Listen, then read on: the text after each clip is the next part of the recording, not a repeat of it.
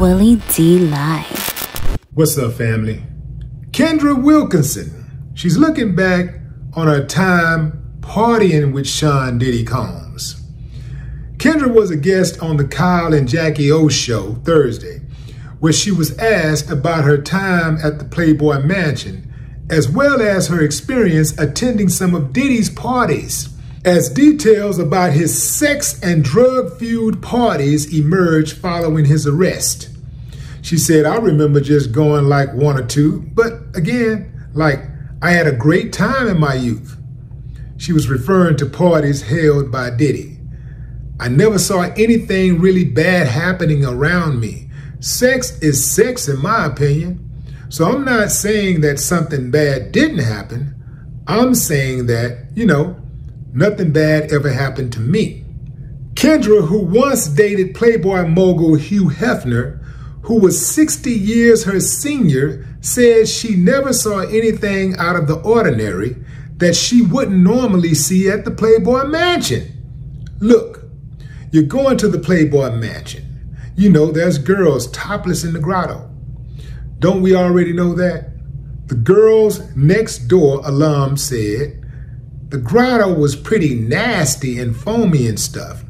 Speaking more generally about the mansion parties, she added, I enjoyed my time while living at the mansion, and who you saw is what you got.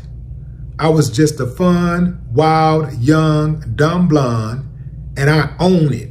Before anybody go down the road of celebrating her victory, keep this in mind.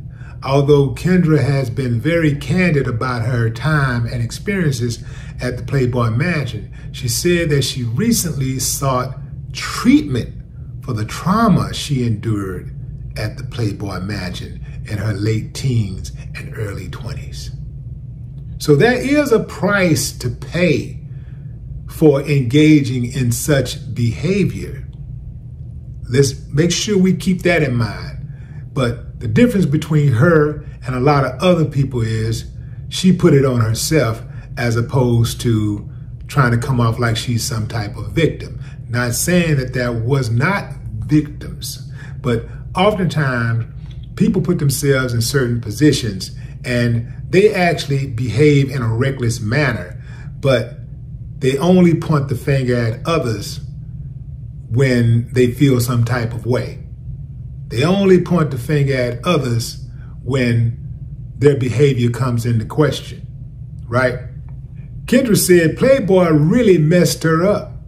She said it led her to question everything and all decisions she made. Why did I have sex with Hugh Hefner at that age? Why did I do that? She asked herself, why did I go to the mansion in the first place? Why did I get big boobs? Why am I a sex symbol? Why did I bleach blonde my hair? Why did I do this to myself? Why did I? Why did I? Why did I?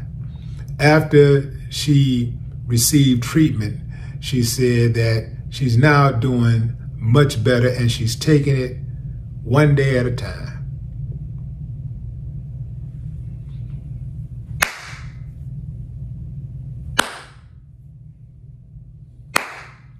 I ain't got no problem with that. See, fam, that's how I'm built.